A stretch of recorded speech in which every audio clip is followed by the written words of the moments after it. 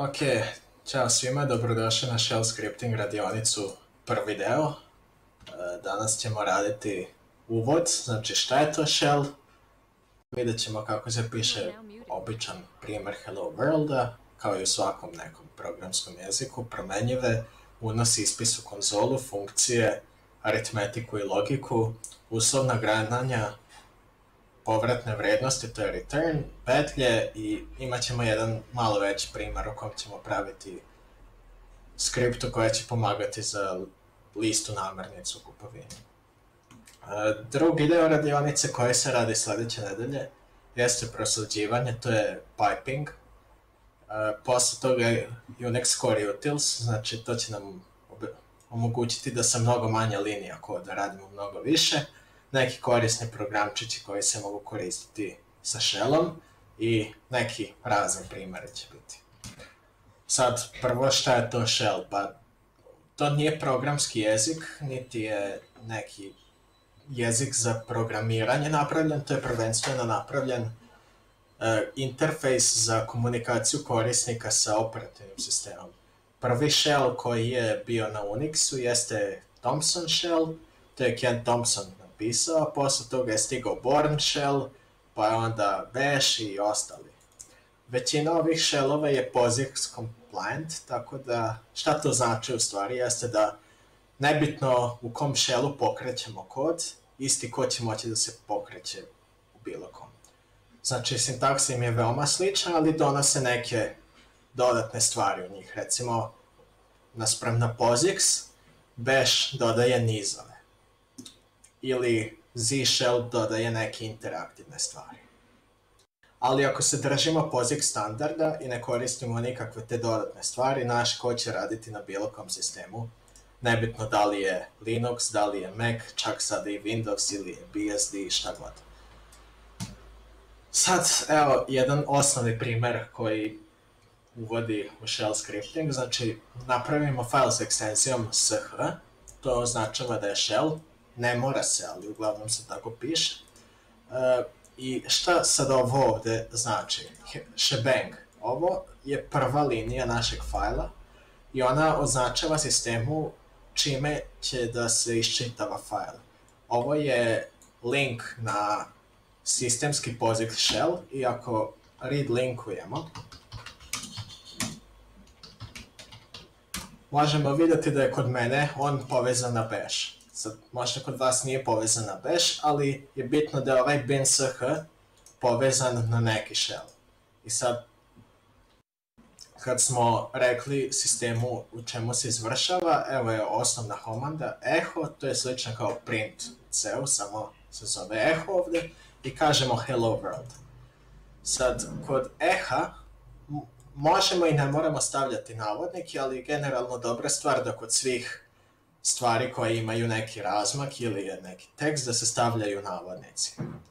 Evo sad ćemo da pokrenemo ovaj primer. Znači napravit ću novi file sa touch.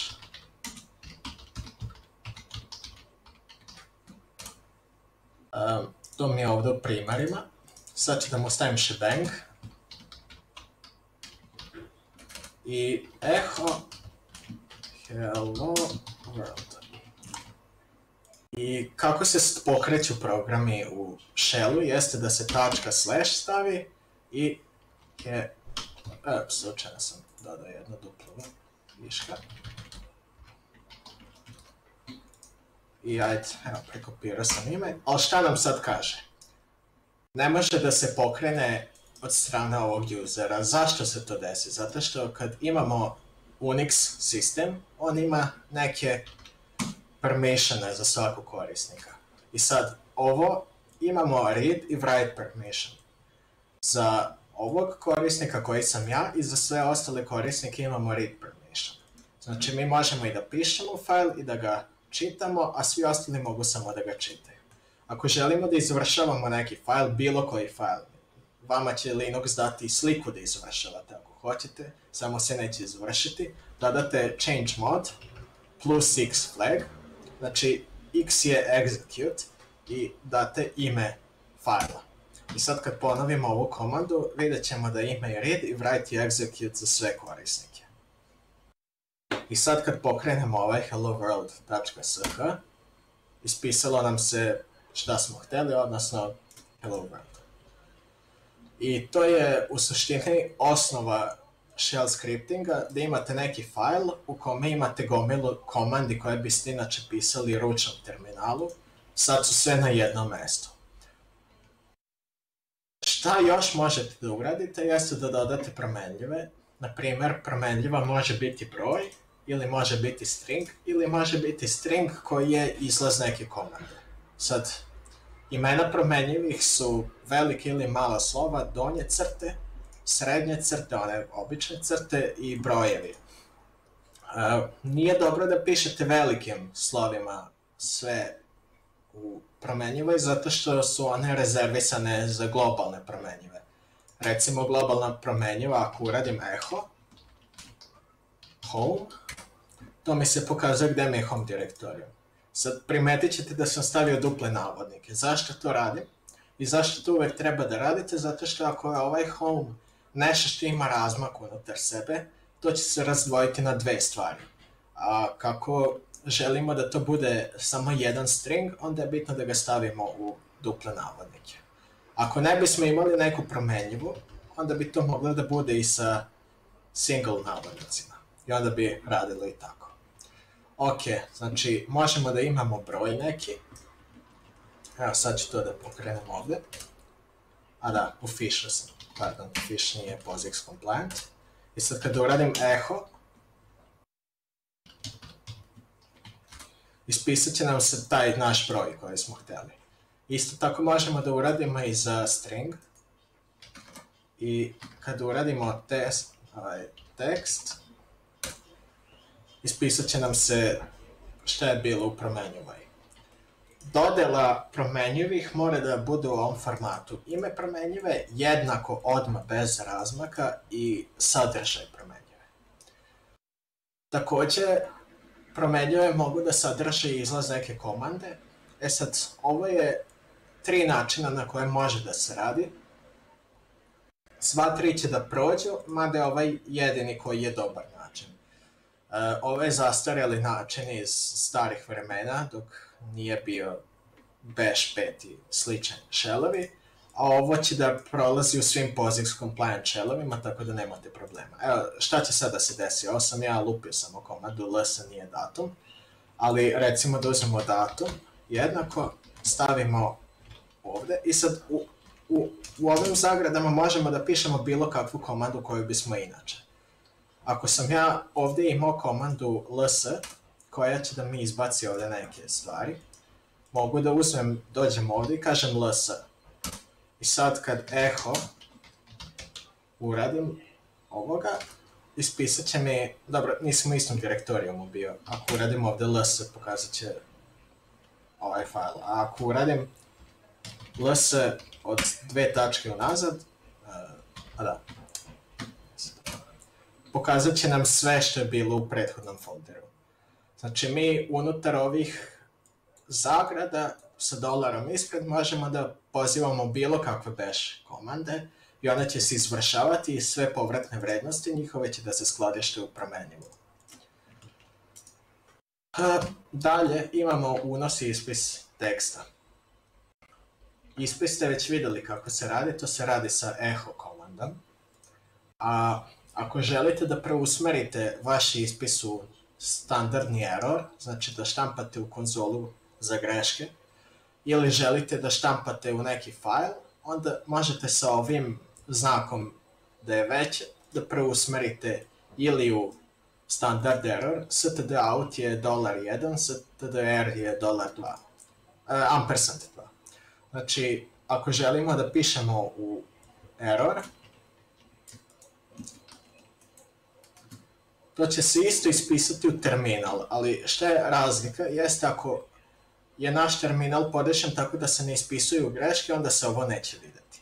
Ili ako je ispisan samo da se vide greške, onda sve što se piše u standard out se neće vidjeti, a što se piše u standard error će se vidjeti. Sad, ako napišem read, možete pretpostaviti šta će se desiti, to je kao scan flow ceo, ako sad upišem, ne znam, 555. Ovo nam se unelo u promenjivu sa ovim imenom. Sad ako uradim eho, unos 1, unos 1, vrednost te promenjive će biti 555. Ako želimo da imamo neku lepšu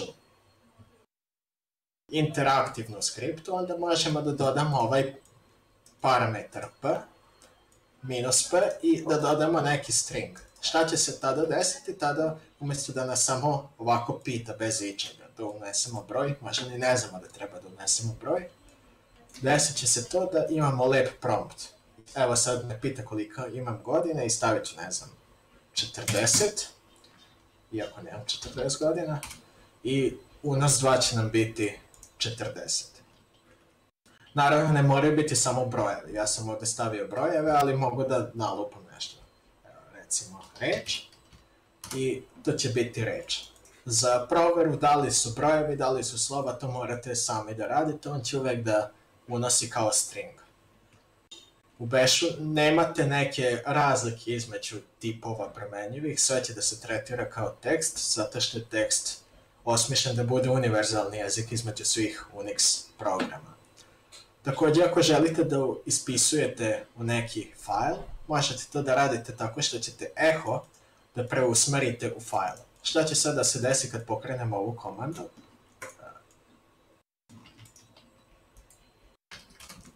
Sad ću da sa cat, to je concatenate komanda, da otvorim temp upis.txt i u tom failu će nam se prikazati ovo. Znači, to je sadržaj fajla. Ako bih sad napisao nešto drugo ovdje umjesto ovo je, nek sam napiše, na primjer, tilda. Ako napišem tilda, to će zameniti sadržaj prethodnog upis teksta i sad će da njegov sadržaj bude tilda samo. Ako želimo da dodamo nešto u već postojeći fajl, moramo dodati dva znaka za veće. I evo sad ću staviti radionica o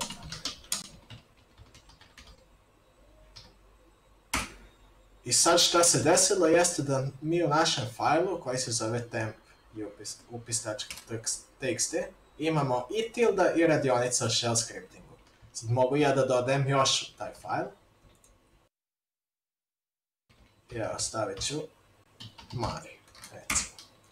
I opet taj fajl će da naraste. Ako bih obrisao ovaj jedan znak za veće i napisao novi tekst, onda bi se sadržaj tog fajla prepisao sa novim tekstom. Ok, sad ako imate pitanja, slobodno pitajte. Ja ne čitam ovaj chat, pošto šerujem ekran, tako da neću vidjeti, Krle mora da čita.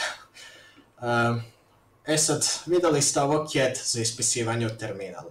Ako, ako hoćemo isto to da ispišemo u našu promenjivu, recimo da učitamo sadržaj fajla u promenjivu, onda samo stavimo ime promenjive i već poznatu sintaksu za upis ispisa neke komande u promenjivu. Evo sad ću da sadržaj uradim ovdje.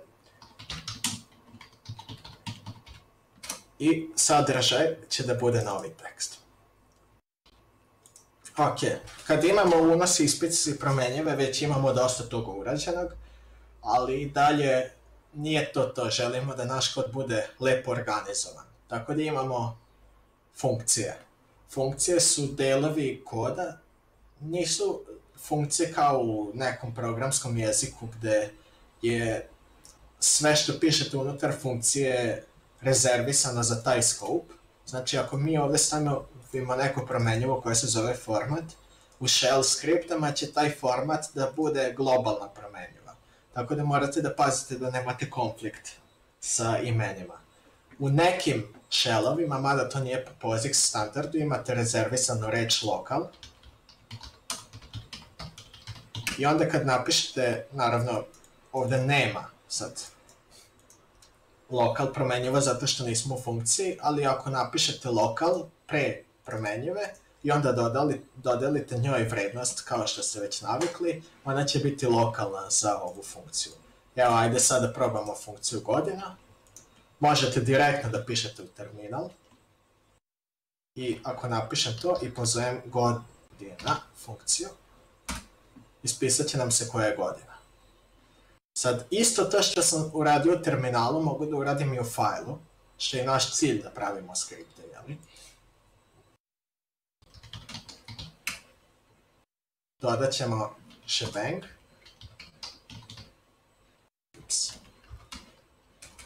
I napisat ćemo godina. Sad, ovo isto moramo da uradimo sa chmod. I ako pokrenemo godina.sh, neće se ništa desiti zato što nismo pozvali tu funkciju nigde. Ako mi sad ovdje napišemo godina, još ispod, to će se izvršiti. Evo, izvršena je funkcija. U većini shellova se ovi fajlovi učitavaju od gore ka dole i nemaju nikakvu pametnu kompilersku logiku, tako da ako vi napišete ime nečega, pre nego što definišete to, e, izbacit će vam server, zato što niste definisali što je ova godina. Ako pokušam da pokrenem, on nije našao komandu godina. Također vi možete da overridujete neke funkcije. Ako već imate funkciju ls, koja vam ispisuje šta imate u direktorijumu, vi možete da je overridujete. I evo, sad smo overridovali funkciju ls. To nije dobra praksa, ali možete da uradite ako želite recimo da imate funkciju koja ispisuje sve fajlove kao list. I sad, umjesto da pišemo lsl, da nam ispiše ovako kao list fajlove, možemo da napišemo uh, šta je sad? Aha, e, ne možete da imate isto ime funkcije kao što imate ovdje, tako da ću staviti list.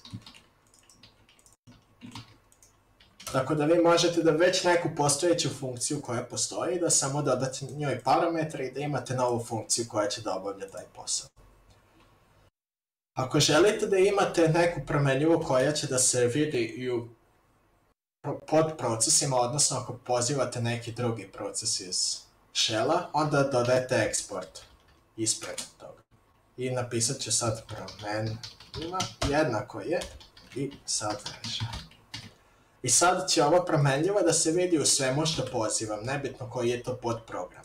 Ako ne stavite ovo eksport, vaša promenljiva će se vidjeti samo unutar ovog shella. Ok, sad funkcije imaju i parametre, slično u drugim jezicima možete da prosleđujete parametre, ali ne možete da im dajete imena. Tako da ako bih sad pravio neku funkciju pozdravi, ovo mogu da ugasim, napravit ću program post.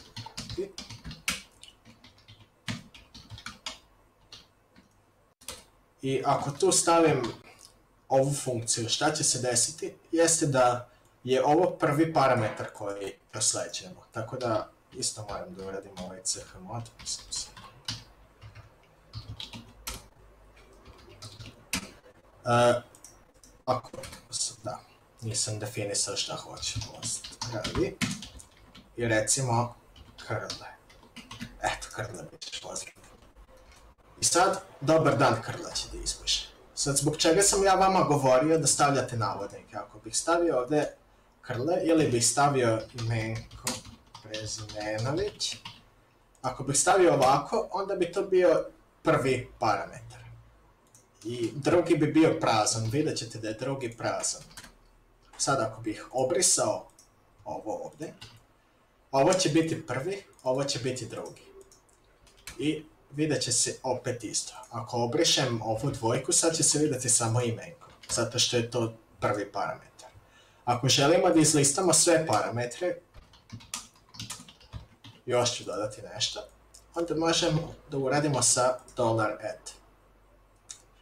Sad on meni ovdje viče da nije pametno da koristim $at e, pod duplim navodnicima, ali to on misli da ću ja da koristim kao neku promenjivu, tako da možete da izignorišete ovaj error slobodno. Tako da će on sad da pozove sve ove zajedno. Ako želimo da vidimo koliko imamo tih argumenta, ukupan broj, znači da li je 1, da li je 2, da li je 3, da li je 4, da li je 5, onda možemo da stavimo ovaj dolar taraba i on će da nam kaže da imamo pet prosleđenih argumenta. Znači 1, 2, 3, 4, 5. Također ako želimo da vidimo ko nas je pozvao u funkciju, možemo da stavimo dolar nula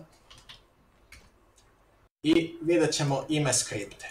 Ako uradimo to isto ovdje u shellu, koji nije skripta nego je shell, ispisat će nam se da smo trenutno u bashu. Tako da ako bismo recimo još pozvali ovdje post vi, u stvari ovo će biti rekurzija, e, napravit novu funkciju a koja će da poziva ovo pozdravi i pozivat ćemo a. I vidjet ćemo da smo i dalje pozivalac iz ove skripte.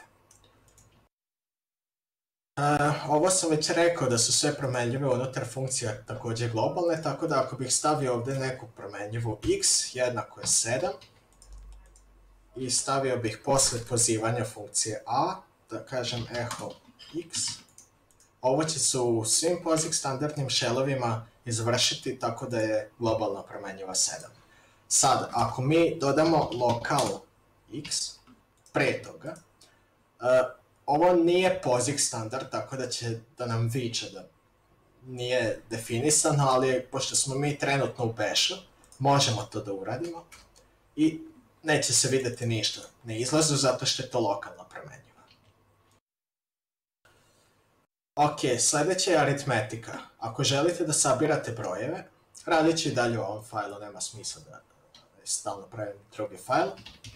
Recimo možemo da saberemo dva broja i da ih ispišemo u terminalu. 5 plus 5. E, ove razmake ovdje ne morate stavljati, ja ih stavljam čisto zbog čitljivosti. I evo ispisalo nam se da je to 10.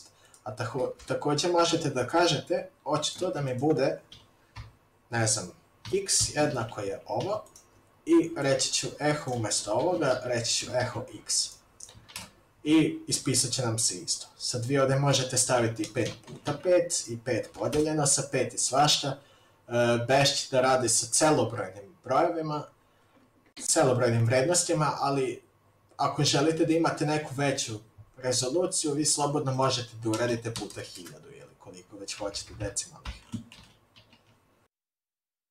Ok, ovo mod je ostatak pri sa 30, i tako možete svašta da radite sa aritmetikom. E, logika je također omogućena, recimo ako imamo dva binarna broja, možemo da ih logički iujemo, da ih ilijujemo ili ekskluzivno ilijujemo. Šta će tu da se desi? Ako imamo jedan ampersand, to je logičko i, i desit će se da će on da uzme a i b. Znači, ako je na mestu ovom jedinica, iako je na mjestu ovom jedinica, bit će i ovdje jedinica, u tom nekom C izlazom. Ovdje su nule, ovdje je nul, tako da će ovo biti nula, ovdje nisu obe jedinice, tako da će i ovdje biti nula, i ovdje nisu obe jedinice, tako da će i ovdje biti nula i dobit ćemo 1, 0, 0, 0. E, logičke i, ili, ili ekskluzivne ili operacije su dosta korisne ako želite da skladištite mnogo nekih stvari u jednoj promenjivoj. A možete da radite i sa duplim ampersand. Šta će onda da se desi? Onda će da on poredi da li je ovo različito od nule ili da li je ovo različito od nule. Odnosno da li je ovo i ovo različito od nule, tako da pošto su oba veće od nule, dobit ćemo da je ovo veće od nule. Isto tako i za ili i za ekskluzivno ili. A, sad, neću se previše zadržavati na logici i aritmetici, to nećete toliko mnogo koristiti ako pišete samo neke stvari za automatizaciju, ali ako radite sa obradom podataka, onda hoćete. E sad, imamo i uslove grananja u shellu. E, osnovni uslov, uslovno grananje je if else i možemo da radimo poređenja u shellu. E sad, vidite kako izgleda sintaksa. Imamo if, otvorena uglasta zagrada i neki uslov, zatvorena uglasta zagrada, tačka zarez den, onda šta želimo da se izvrši onda. Ako nije zadovoljen uslov, onda idemo na ovaj deo. Sad elif je kao else if, znači ako nije ovo, i ako je ovo, izvršit će se ovo. Ako nije ni ovo, ni ovo, onda će se izvršiti ovo. Sad, za osnovno poređenje brojeva imamo jednakost koja je minus eku. Ako je veći ovaj od ovog, pisat ćemo gt. Ako je veći ili jednak ovaj od ovog, pisat ćemo ge. Ako je manje, pisat ćemo lt i manje ili jednak le.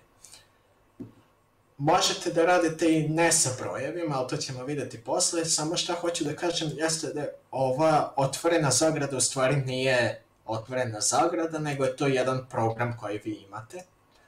E, znači, to je jedan program koji vam se nalazi u user bin direktorijumu i on služi za poređenje. Tako da, ako nemate ništa u njemu, on će da se izvrši kao da je tačan. To možete i van if-a da koristite, vidjet ćete kasnije. Evo sada probamo ovu, ovaj primjer. Šta će da se desi? Broj je 10, tako da će da se izvrši 10. Ako stavimo ovdje 11, veći od 10. Ako stavimo... Hm? Ovaj, nisam ispratio, ali zašto si rekao ide ova tačka zarez pred dena i nakon ove zatvorene uglasti? Aha, pa to je zato što je ovo komanda. Znači, e, ovo otvorena zagrada je u stvari pozivamo komandu koja će da se izvrši. Vi ovdje umjesto uglastih zagrada možete da stavite bilo šta što vraća povratnu vrednost. Znači ovdje mogu staviti i ls ako hoću. I to će i dalje da se izvrši. Naravno ls će uvijek da mi vrati e, nulu kao povratnu vrednost, koja znači da se nešto izvršilo tača. Ako nije povratna vrednost nula, onda će da se izvrši bilo šta drugo, zato što ako nije povratna vrednost nula, to znači da se desila neka greška. Jasno, true false varijanta, ovaj, ali ne možemo stavljamo ove obične, klasične zagrade. Ne, ne, ne, ovo, ovo stvari if poziva program koji će da proveri ovo. Znači ja sad ovdje u terminalu mogu pozvati 10 eq 10 i to će da se izvrši. Naravno, neće mi vratiti ništa, ali ako pogledam povratnu vrednost toga, to sam zaboravio da napomenem, to je dolar upitnik, bit će nula. Ako stavimo ovdje 11, uh, bit će 1 zato što 10 nije isto sa 11. Znači, nama se ovdje poziva program koji vraća vrednost ako je zadovoljen uslov. Tako, Bash nije programski jezik, on samo sklapa mnogo različitih komandi u jednu veliku celinu. Jasno, nego samo mi ovaj sad deo mi opet malo izaziva konfuziju. Pitanje je da li je 10 jednako 11 i kada mu ti, on dobije tu neku vrednost, a ta vrednost je 1, kako to, ta 1, zar on ne bi trebao da predstavlja true? A 10 nije aha, jednako aha. 11. Uh, e, true je u Bashu 0, false je bilo šta osim 0. Aha, znači, znači 0 je true. Da, u ostalim programskim jezicima ti je true bilo šta osim nule, ovdje je true bilo šta, ovaj, false je bilo šta osim nule, true je nula. Obrnuto je. Jasno, jasno, jasno. Okay. Tako da vi ovdje možete staviti bilo kakvu komandu koja će da vrati neku povratnu vrednost, a svaki program po POSIX standardu mora da vrati povratnu vrednost. Ako se nije nikakva greška desila, bit će nula. Ja, ok. okay. Hvala. Sad imamo dalje logičko vezivanje, ako želimo više stvari, više nekih uslova da damo. Recimo ako hoćemo da poredimo više brojeva, onda možemo staviti ovdje a, sad on se dere ovdje zato što ovo nije standard kako bi trebalo da se radi, nego bi trebalo ovako da se radi. Ja sam stavio oba da možete da vidite kako, kako se može raditi i kako treba da se radi. Znači imamo jedno poređenje, ovo je kao A, kao AND, možete da stavite O za OR ili šta već, N za NOT, valjda N, ne znam, ne, uzvičnik je za NOT, pa, pardon. E, možete da stavite više poređenja, isto možete i ovdje da stavite. Sad ako bih pozvao taj pozdravi.sh program, u oba slučaja će nam biti uslov zadovoljan, zato što je A jednako 10 i B je manje ili jednako 3. Ako bih stavio ovdje da je 4, uslov ne bi bio zadovoljan, ni u jednom ni u drugom. Ali ako bih ovdje stavio da je ili i ovdje stavio da je or, kao ili, uslov bi bio opet zadovoljen u oba. Znači vi možete da stavite recimo ako nije ovaj uslov ili ako je ovaj uslov. Samo morate da pazite na red operacija zato što ako ovaj nije zadovoljen uslov, nijedan drugi uslov se neće uh, ispitati ako ovdje nije ili. Znači, ako bismo došli, imali ovakvu if naredbu, ako se ovo ne bi zadovoljilo, ovo se nikad ne bi ni pokrenulo. Ako se ovo zadovolji, onda se i ovo pokrene da se proveri. To se zove lenje proveravanje. Tako da vi ovdje sa ovim end-end možete da nižete i više komande, to ću vam posle pokazati. Uh, dalje imamo ternarni operator, to sam već blago pomenuo. Znači ako imamo neki broj, mi ne moramo pisati if else, pardon, fali dolar. Mi ne moramo pisati if else, nego možemo da napišemo ovo. Ako se ovo izvrši, onda eksploatišemo ono lenje proveravanje. Ako se ovo izvrši, on će pokušati i ovo da izvrši. Ako se ovo ne izvrši, onda će da proba ovo da izvrši. Pošto se ovo gleda kao neki logički izraz ako bih sad pokrenuo ovo ponovo, on će da kaže broj veći od 4. Zašto? Zato što je on proverio da li je broj veći od 4 i onda želi da proveri drugi uslov koji smo mu stavili i on će da proveri drugi uslov.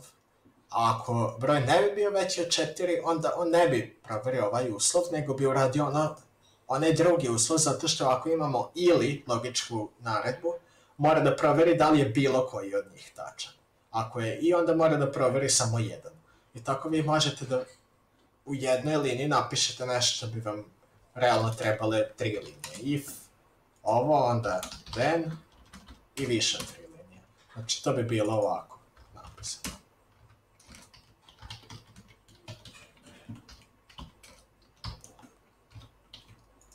Vidite, mnogo je kraće da se piše onako, a dobije se ista stvar. Samo morate da pazite da vam ova druga naredba daje nulu kao povratnu vrednost, zato što ako ne da nulu kao povratnu vrednost, onda će ovo uvek da se izvrši. Um, sledeće je provera teksta.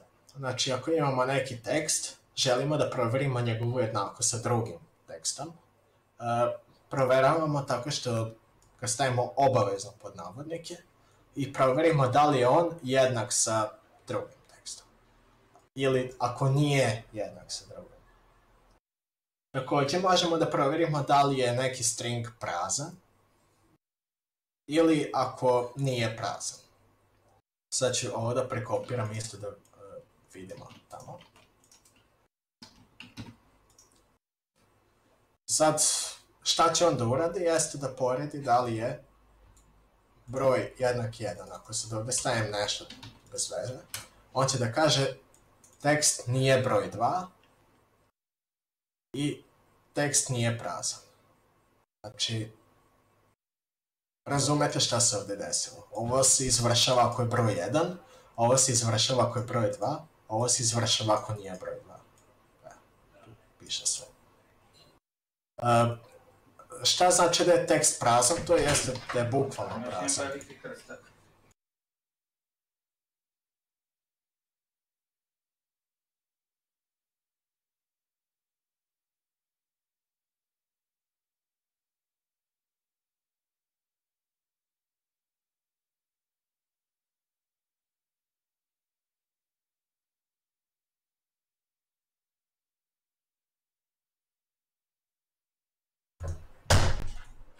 Ja se izvinjam, mora sam da prekinem malo.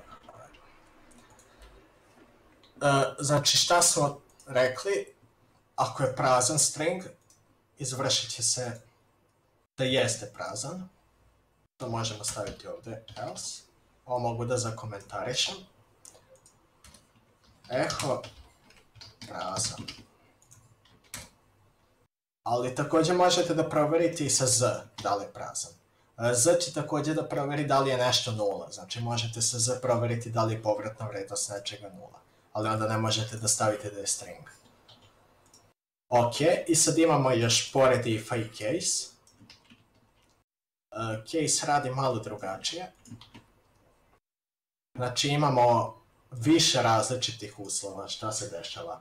Ako je tekst jednako 1, onda će da se izvrši ovaj deo case Ako je 2 ili 3, onda će da se izvrši ovaj deo case Ako je bilo što drugo, izvršit će se ovaj deo. Vi ovdje možete da stavite više komandi, ali posljednja komanda mora da ima duplu e, tačku zarez, a sve komande pre toga mora imati simplu tačku zarez, jer on ovo tretira sve kao jednu liniju koda, samo sam ja razdvojio više da bi bilo preglednije. Znači, to se u stvari ovako izgleda zapravo. I evo sad će reći, tekst nije ni broj 1, ni broj 2, ni 3. Ako stavimo ovdje 3, onda će da kaže tekst je broj 2 ili 3. To sad jasno kako radi. Valjda vam jasno. Ok, imamo provjeru datoteka, da li postoje. Sad iskoristit ćemo ovu datoteku od pre, koju smo već pravili, da vidimo da li postoji. Uh, šta će ovo reći, jeste da datoteka samo postoji. Uh, vi ovdje možete da imate više različitih uh, flagova. F ako želite da li je datoteka, direktorijom D. Ako samo želite da provjerite da li postoji, onda se kliknete na napišete E, ako želite da vidite da li je file prazan ili nije prazan, onda je s ovim S. Sve ostale možete da vidite na ovom linku. Ok. Sad, povratne vrednosti, to sam već više puta rekao da postoje. E, to će da nam dosta služi u funkcijama, da možemo da nižemo funkcije, da vidimo da li se jedna funkcija izvršila pravilno i ako jeste možemo da nastavimo. Evo sad ćemo da imamo neku funkciju punoleta. Šta će ova funkcija da radi? Jeste provjerit će da li je prvi argument koji je prosleđen u nju veći od 18. Sad on se ovdje buni zato što nisam stavio duple navodnike. E, to bi bila dobra stvar da uradimo, pošto su uvek brojevi neće imati razmaka, nije potrebno ako ćete da imate samo vaše pozive skripte, ali ako eksportujete ovu funkciju negdje drugdje, onda je bitno da handlujete sve moguće use case-ove. Pošto korisnik ne zna šta sve sme da upiše, vi morate da mu kažete da li je. I sad ću napisati punoleta 15. Šta će da se desi? Jeste niste punoletni. Ako sad ovdje napišem 25, neće se ništa javiti, zato što je ta osoba punoletna. I ako pogledamo return code, e, bit će 0. Ako vratim na 15, bit će 1. E, zašto je return code 1, iako nismo bili u funkciji, jeste zato što izlazna povratna vrednost shell skripta jeste povratna vrednost posljednje funkcije u njoj. Isto tako i u funkciji. Ako nemamo nikakav return u funkciji, posljednja stvar koja se izvrši, njena povratna vrednost će da se prosledi za povratnu vrednost funkcije. Ok, i recimo da imamo neku funkciju glasa i sad ću je prekopirati pa ću objasniti šta radi. Znači imamo, ako je broj parametara koji su prosleđeni jednak nuli, nismo prosledili ništa, znači prazan je listić na glasačkom listiću. Ako imamo broj parametara koji je veći od 1, zaokružili smo više od 1, znači nevažeći listić. Ako se nijedno od ova dva ne izvrši i ne vratimo se nazad sa nekom greškom, izvršit će se ovaj deo koda e, koji će da proveri da li je naš izbor 1, 2 ili 3, znači omogućili smo da se piše ili slovima ili brojevima i samo će se ispisati u konzolu koju smo stranku izabrali. Ok, sad ako ja kažem glasaj 1, pokrenemo ovo, izabrana je prva stranka. Ako ne napišem nikakav, naravno on će da se dere na mene, zato što nisam ništa prosledio. Imam ovaj, shell check već instaliran ovdje, to ću vam posle reći kako da koristite. Uh, ako nisam ništa napisao, on će reći prazan listić. Ako stavim, ne znam, 2 i 5, on će reći nevažeći listić. Sad, pošto imamo samo tri izbora, napisat ću četiri. On će reći izabrana je nepostojeća stranka, znači došli smo, prošli smo ova dva uslova, imamo samo jedan glas, ali on nije ni u jednom od ponuđenih. Tako da vi sa ovim možete da neke stvari koje biste inače pisali u ifovima sa caseom da napišete ovako mnogo preglednije. E sad, kako da povežemo punoletan i glasa? I želimo da proverimo da li je osoba punoletna pre nego što glasa. E, za to ćemo da koristimo povezivanje stvari sa AND uslovima i sa readom ćemo da čitamo koliko naš korisnik ima godine i šta već. Uh, ovaj parametar p je u POSIXu nedefinisan. Tako da ako želite da koristite e, prompt, morate da koristite neku kao što je bash. Shell scripting jezik. Ako ne, onda morate prvo echo pitanje i onda read. Znači, morali bi se da napišete dve stvari. A ovako možete da pišete u jednom. I sad će on prvo da me pita koliko imam godina. I tu vrednost koju napišem će napisati u promenjivu starost. Ako je to uspešno, znači ako se ja kliknem Ctrl C da izađem, neće se ništa desiti. Ako napišem da imam 18 godina, uslov je zadovoljen da smo nešto upisali, onda će se izvršiti sledeća funkcija sa end. E, proverit će da li smo punoletni, ako jesmo return code će biti nula i end će biti opet e, zadovoljen. Ako nije, desit će se greška i onda imamo ovaj ovde ili, znači ovo se sve niže jedno na drugo, ako se desi neka greška umeđu vremenu, onda će da se izvrši ovaj deo sa ili ovde.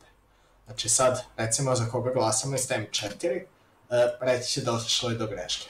Ali ako napišem, ne znam, 2, reći će mi, e, prvo će da pozove funkciju glasa koja će da mi kaže koga smo izabrali, a posle toga će da se izvrši ovo hvala što ste glasali kao da je sve uspešno. Ako je došlo opet do neke greške, recimo 4, on će reći izabrana je na postojeća stranka i pošto se povratna vrednost promenila, odnosno nije bila nula, on će opet da vidi da je došlo do greške i izvršit će ovo. Tako da vi bez mnogo if-else-ova i grananja možete sve ovako lepo da napišete. E, ovaj backslash samo znači da je novi red, pošto mora sve da bude u istom redu ako pišete više komande, ali onda je jako nepregledno ako bih obrisao sve to. Tako da možete staviti sa backslashom u novi red. I eto, ovo je neka prva skripta, da kažem, koja koristi sve što ćemo danas da učimo. I ja sam spremio još jedan zadatak koji ćemo da uradimo posle. A pre toga ćemo da vidimo kako se petlje izvršavaju. Znači, ako želite da prolazite kroz nekih više podataka, koristite petlje. Sad, for petlja je za svaki u nekom nizu.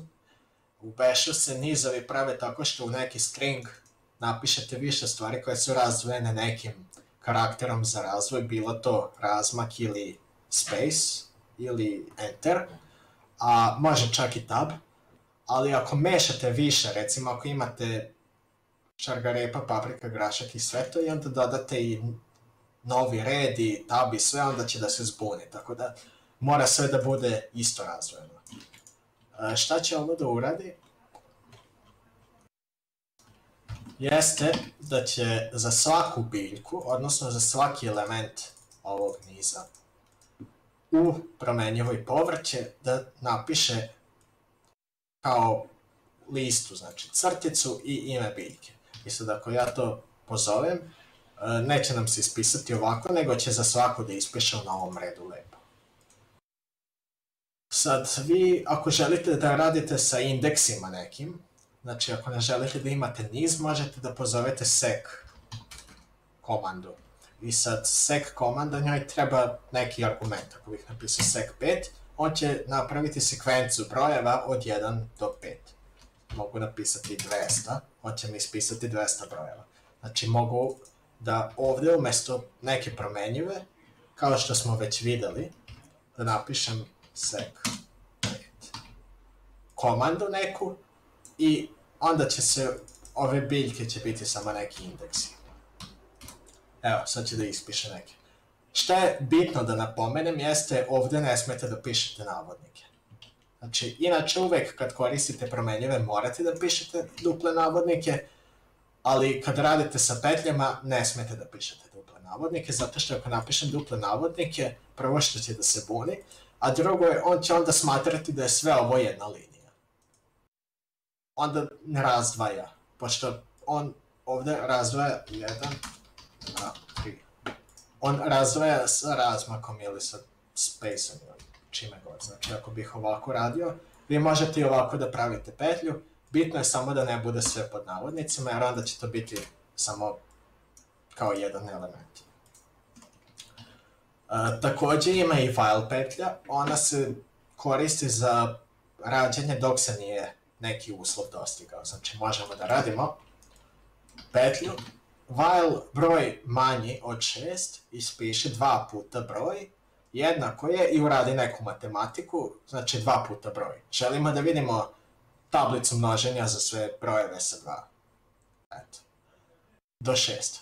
I onda ćemo da uveličamo broj tako što ćemo reći broj jednako broj plus 1. Znači nema plus plus broj, broj plus jednako 1, beše dosta glup, Shell je dosta glup, ali vam dozvoljava da radite aritmetiku tako što dodelite novu vrednost promenjivoj. I sad ako bih pokrenuo, vidjet ćemo da se izvršava, znači 2 puta 0 jednako 0, 2 puta 1 jednako 2 i tako to. E, šta sam isto mogu da uradim jeste for broj. In. Sec. 6 6, ne, do 5 do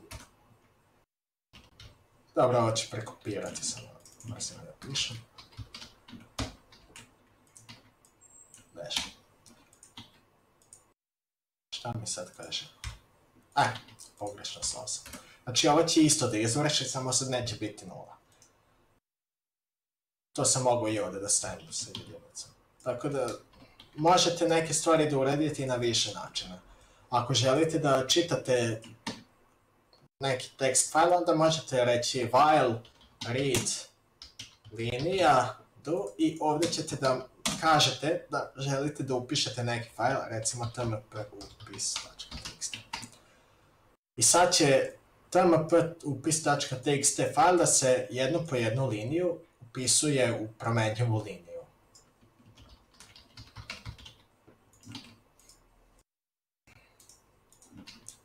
Šta sam sad loše uradio?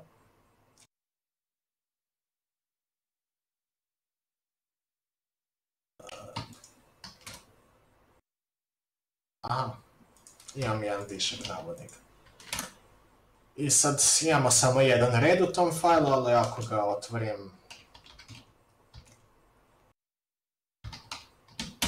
i dodam nešto... Ne, nisam sh, pardon.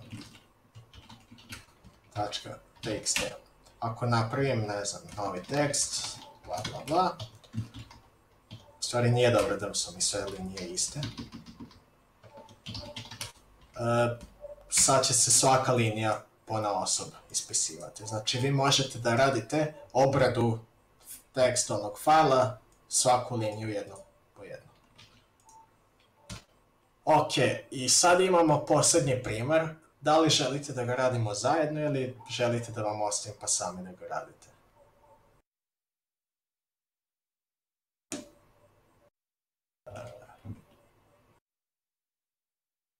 Može zajedno. Aj, kad si već tu. A, ok. Sad, šta je cilj? Jeste da imamo neku skriptu koja će da nam pomaže da dodajemo i brišemo i kupujemo i svašta neke namernice. I ovdje smo definisali kako želimo da radi skript. Znači želimo ukupljeno.txt i u zakupovinu.txt fajlovima da čuvamo namernice, a sa dodaj, kupi, izlistaj i obriši želimo da interagujemo s ovim tekstovnim fajlovima. Sad napravit ću ovdje novi fajl koji će se zvati li.sh. Naravno, chmod plus x moram da uradim. E, šta ću sad da izmenim jeste da ću umjesto običnog shella koji se poziva sa bin sh da koristim user bin env dash. Šta se tu desilo? Uh, imamo mali program na Unix i sličnim sistemima koji se zove env koji će da izlista sve što imamo unutar našeg environment variabla. Znači, ako imamo neku promenjivu path, onda će da nam kaže gde nam se sve na sistemu nalaze egzekutabilni fajlovi. To će biti user local has been i tako dalje. Uh, env će da nam vrati gde nam se? Aha, već sam u Bashu. Znači, on će da nam vrati umjesto našeg trenutnog terminala, terminal koji smo mu želeli ili neki program koji smo želeli. Znači, ako bih napisao env dash, on bi me prebacio u dash. Sad dash mi je polomljen. PS1 mi je polomljen. Ne veze. Dash je shell koji je jako sličan originalnom POSIX shellu i neće vam dozvoliti da pravite neke izmene koje nisu kompatibilne sa ostalim shellovima. I mnogo je brži od Dasha, tako da ću njega sad koristiti. Čisto da nam kaže da imamo grešku ako koristimo neku stvar koja nije portabilna među shellovima. I sad ću da definišem dve promenjive za kupovinu, jednako je. I tu ću da stavim, mogu i pod jedne navodnike zato što nemam promenjive, za kupovinu.txt. To će nam biti ime fajla. I reći ću isto to zakupljeno. Da imamo gdje je naš tekstovni fajl. Zašto ovako radim? Zašto ne pišem direktno posle? Zato što ovdje ćemo samo na jednom mjestu morati izmeniti ime fajla. Ako budemo želeli da menjamo specifikacije programa. I recimo, želimo da imamo naslove za kupovinu i kupljeno, isto napisano u neke promenljive, naslov za kupovinu jednako je, isto ću pod simbol navodnike, i naslov kupljeno, naslov kupljeno jednako je Ako se pitate zašto imam autocomplete, zato što već imam jedan file koji ima sve ovo napisano, tako da on pokušava da skonta što sam već koristio. E sad, ona komanda touch, koju smo već prekoristili, uh, će da nam napravi neki file, ako je file već napravljen, neće da ga dira. Znači, napravit će funkciju datoteka, koja će da uradi touch ova dva fajla koje želimo, znači touch prvi fajl, touch ako pogledam šta imam sad direktorijumu, imam ove neke stvari. Ako pozovem datoteka funkciju i lista.sh, uh, stvorila su mi se još dva fajla, evo, kupljeno tekst i kupljen za kupovinu i oni su prazni za sada. Ako ponovo pozovem ovaj program, neće se ništa desiti, ali ako recimo se ovaj obriše i pozovem, on će opet da ga napravi. Zašto je dobro da imate touch za sve fajlove koje koristite, jeste da ne morate posle da proveravate da li fajl postoji sa onim if e. Nego možete samo da radite na fajlu, a da ga tretirate praznim ako je prazan. Ok, sljedeća stvar koju hoću da uradim jeste iz list taj funkcija. E, šta će da radi iz liste? To će da izlista sve naše namirnice koje imamo u ovim failovima. Znači prvo, po specifikaciji koju smo dobili za pravljenje ovoga, jeste prvo treba da napišemo za kupovinu. I onda ću eho, prvo naslov za kupovinu. Posle toga ćemo da radimo sa whileom.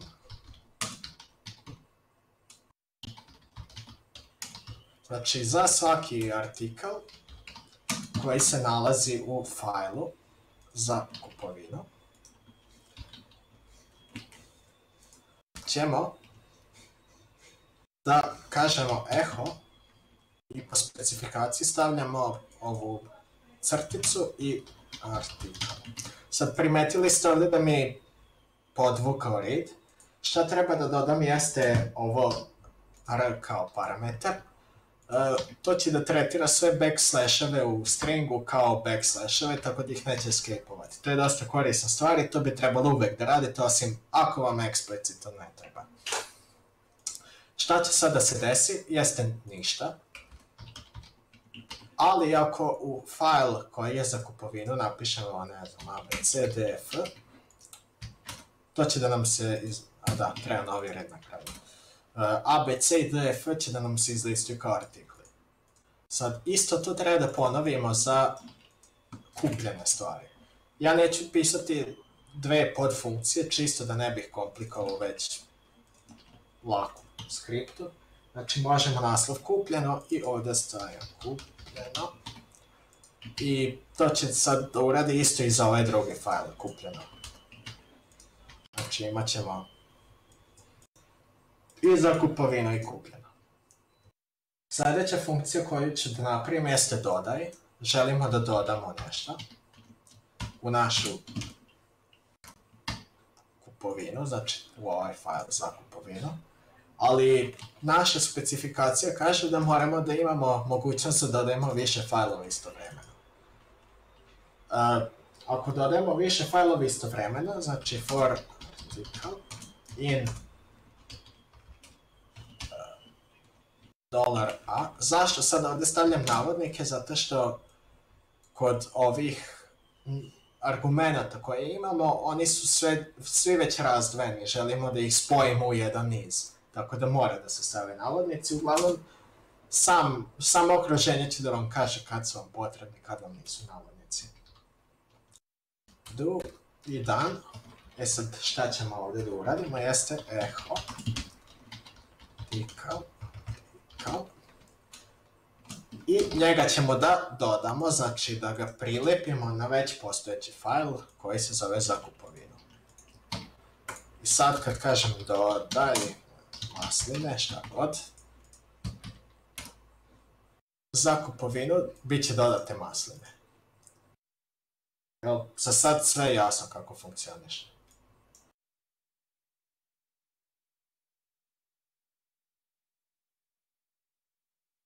A, možete vam ponoviti, ovaj, zašto si stavio u ovom for article ovaj at, dolar at pod navodnike? Aha, zato što kad mi pišemo ovdje više, Evo, skinut ću ih pa ćeš vidjeti sam šta će da mi kaže. Znači, double quotes array expansions to avoid resplitting. Uh, pošto su ovi argumenti već razdvojeni, da ne bismo imali duplo razdvajanje argumenta, moramo da stavimo pod navodnike da se desi samo jedno razdvajanje. Jel to ok sad? Uh, aj samo probaj da ga izvršiš bez navodnika, čisto da im samo to mi baš nije jasno kao duplo da ga ne razdvojiš. Ne, to znači? uh, izvršit će ti se on, ali ako imaš neki nešto što ima razmak u sebi, Dobro. Aha, onda, će, onda tretira ovo kao da su dva različita, ne kao da je jedan ceo. Evo sad ću da ti dodam prvi, drugi. Ako to sad pokrenem, on će prvi drugi da stavi u zasebne redove. Ako stavim pod navodnike, on će da nalepi prvi drugi zajedno. Da ti sad to okej. Da, e. da, ok, malo fokusija, ali malo pao, tako da. I sad dodat ćemo još dve komplikovanije funkcije. Jeste obriši. Šta obriši treba da radi jeste da obriše artikl nezavisno da li se nalazi u kupljanju ili za kupovinu, a pri tome da ostavi sve ostale nedirane. E, sad ćemo reći da je neka promenjiva lista jednako je prazna. I while read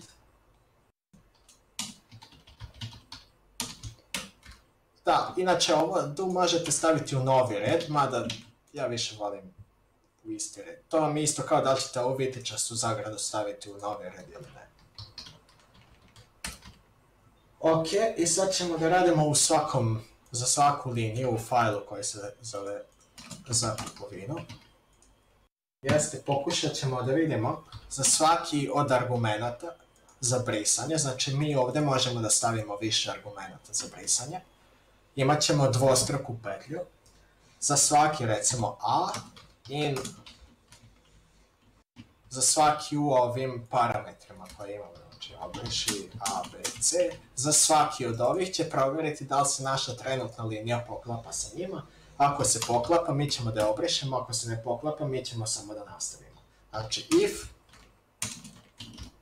article jednako je A jednako je then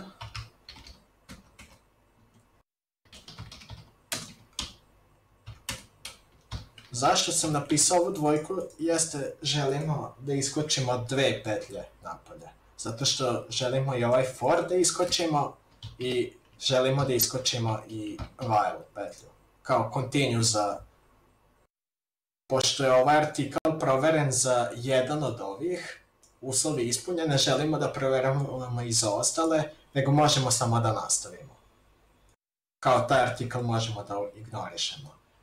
A ako ga ne ignorišemo, znači ako se ovaj continue ne izvrši, ako ne iskočimo iz petlji, onda će da se desi da jednako lista jednako je, uzet ćemo prethodnu vrednost liste i na nju ćemo da nalepimo artikala.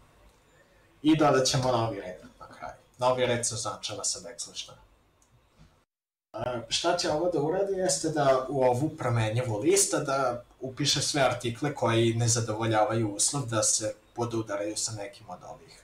A ove želimo da obrišemo, tako da svaki koji se podudara ćemo samo da preskočimo.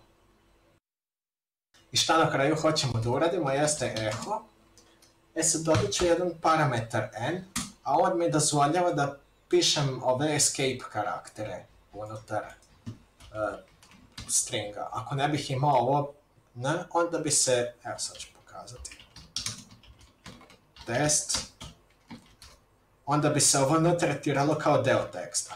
A ako stavim ovdje n kao parametar, da, onda će ovdje fali novi red, a on kad upisuje u file, on će da tretira ovo kao novi red. Sad, ovdje se ne vidi kako to tačno funkcioniše, zato što shell ispisuje sve karaktere zajedno, ali vidjet ćete kad bude ispisivalo ovdje u fajlove za kupovinu. I hoću to lista da upišem kao da prepišem u stvari file za kupovinu sa novom listom. I to isto hoću da uradim i za drugi file koji je kupljeno. Zato što nebitno gdje nam se nalazi, nešto želimo da obrišemo. I sad ću obrisati, evo, prvi. I da vidimo, kad pokrenem skriptu. Evo, obrisao se prvi. Sad mogu izabrati više ovih. Recimo, hoću sve masline da obrišem. I hoću da obrišem sve ove SDF-ove. SDF. I kad pokrenem tu skriptu, on će da obriše sve masline i sve SDF. I to će obrisati u oba fajla, samo ovdje nije bilo pa neće. Jel ok ovo sad?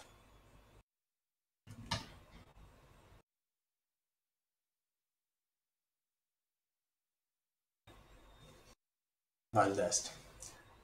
I imamo još jednu funkciju. Izmeni, o, opet ja.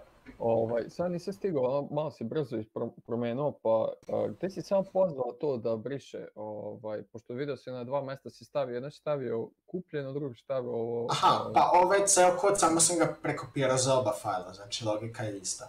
Ali A, on... druge funkcije ove. Da, ali on ne briše uopšte ništa kao liniju, nego on prepisuje ceo fajl sa novom listom.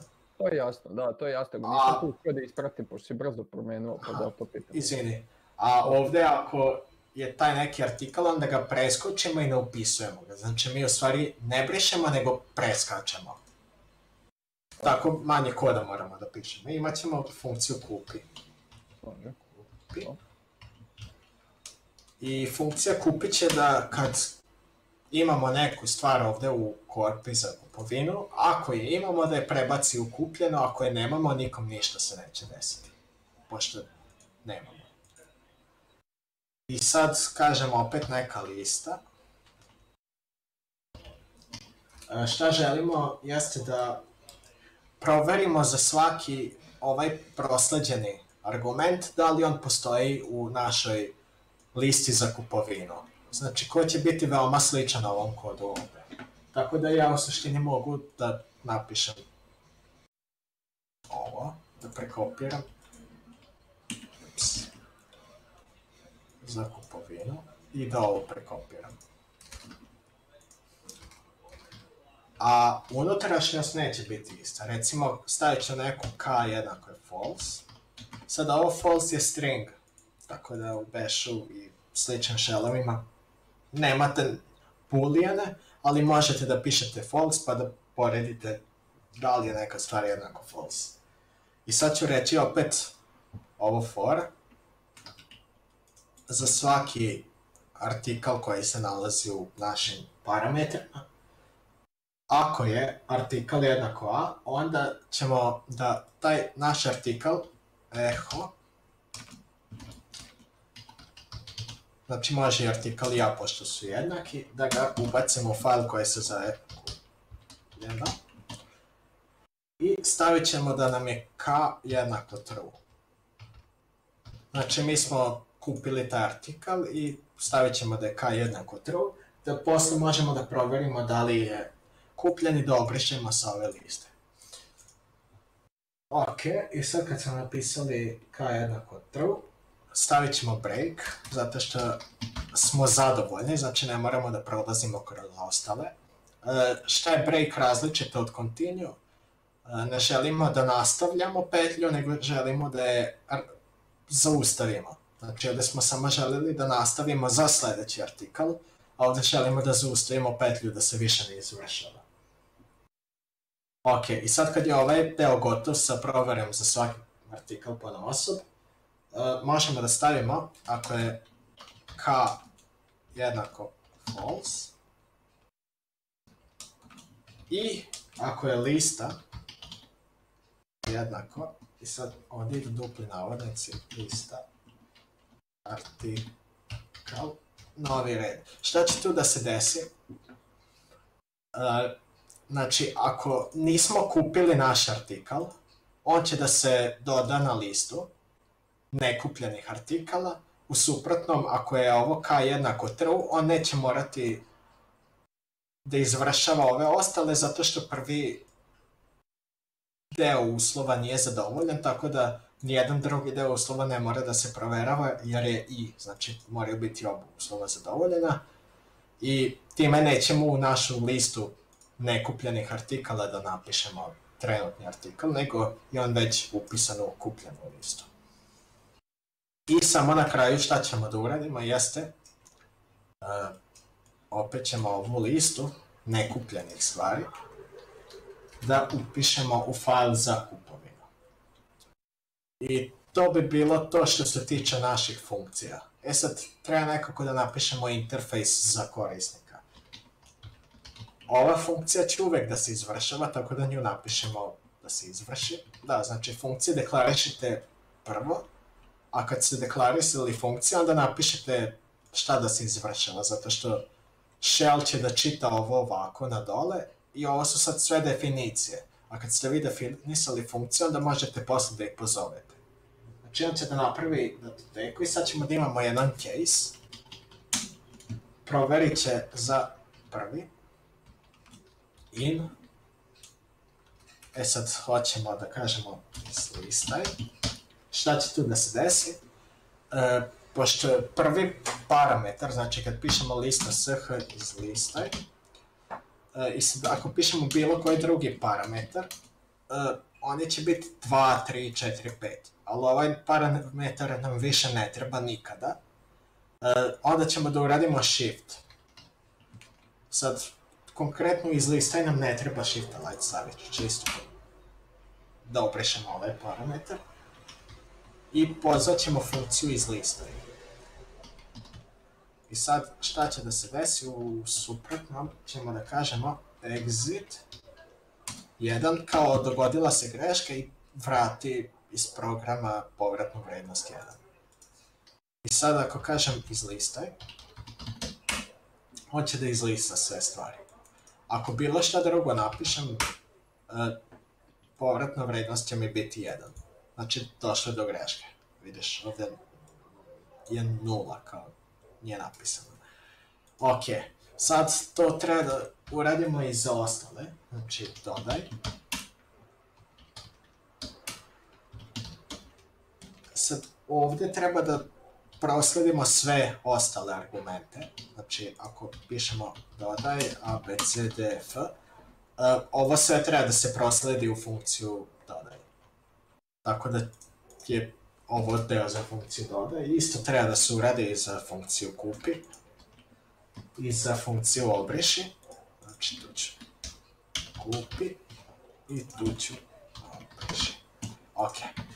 I to je u suštini to. Znači, ja sad, ako idem dodaj, Evo, obrisat ću sve čisto da bude prasno, znači, ićemo ovdje u dodaj, euro, krem i jaja, i on će da doda euro, krem i jaja, sad kažem, izlistaj, on će da mi izlista ovo, sad mogu da kažem kupi jaja, i on će da obriše za kupovinu jaja i da ih doda u kupljeno. I sad ako uradimo opet iz lista i on će da kaže ovaj kupljeno. I tako sad, skontali ste rade pointer. Znači, ovo će da funkcioniše kao što smo mu naredili da funkcioniše. Ako niste prepisali kod, postavit ću ga sad odmah na ovo rešenje ću postaviti samo da rešenja, lista. Sad kad odete na sajt gdje vam je prezentacija, ne znam da li ste odlazili već, na ft.filiparek.com, uh, u tilda imate sad je ovaj file lista.sh, tako da je ovdje ceo gotov kod. Možete da ga vidjeti tu. Uh, ok, to bi bilo sve za danas što se tiče pisanja koda, samo što još hoću da kažem, ovo što smo mi danas pisali jeste jako mukotrpno. Pogledajte koliko ovdje ima linija. Ima skoro 100 linija za nešto tako trivialno.